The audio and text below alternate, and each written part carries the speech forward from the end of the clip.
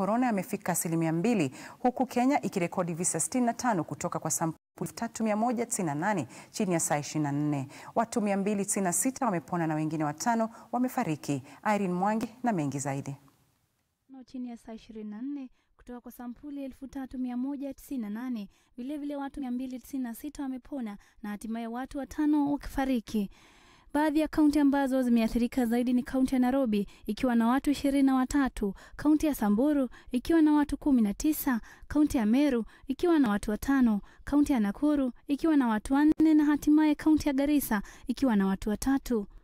Hata hivyo, jumla ya chanjo zilizopeanwa ni chanjo milioni nne nukta mbili, chanjo ya kwanza ikiwa milioni mbili nukta sita na chanjo ya pili ikiwa ni zaidi ya chanjo elfu mia nane chanjo ya tatu ikiwa chanjo zaidi ya elfu mia tano Kati ya waliochanjwa asilimia hamsini na wanne ni wanaume huku asilimia arobaini na sita wakiwa wanawake.